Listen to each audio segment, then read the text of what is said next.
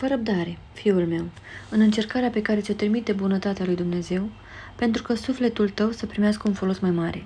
Trebuie să te bucuri, deoarece aici se vede dorința lui Dumnezeu ca tu să dobândești o mai mare sporire duhovnicească, mai ales smerenie.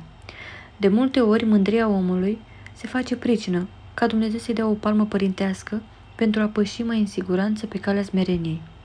Aceasta este cea mai bună dovadă că Dumnezeu vrea mântuirea sufletelor noastre.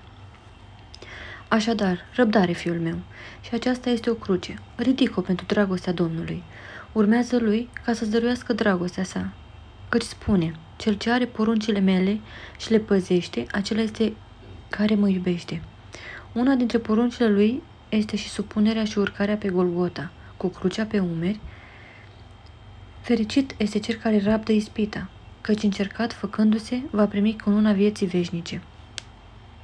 Fiul meu, oricât ai fi de preserată cu spini, calea vieții noastre, Hristos ne cheamă și ne așteaptă să umblăm pe această cale, de vreme ce El însuși a mers pe ea.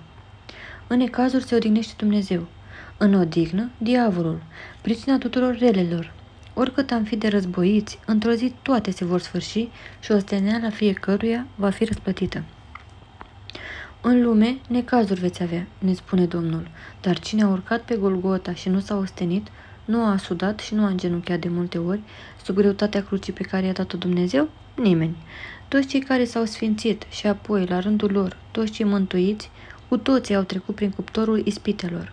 Unul a răbdat boală, altul s-a luptat împotriva patimilor, altul a făcut altă nevoință, adică toți, la rândul lor, au săvârșit tot felul de osteneli pentru Dumnezeu, astfel încât toți să aibă dreptul la odihna cea veșnică.